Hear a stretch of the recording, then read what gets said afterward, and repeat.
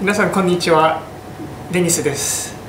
えっと、皆さんのご支援のおかげで、えっと、クラウドファンディングの目標金額を達成することができました。8月2日3日、えっと、10カ国から集まった10人と一緒に、えっ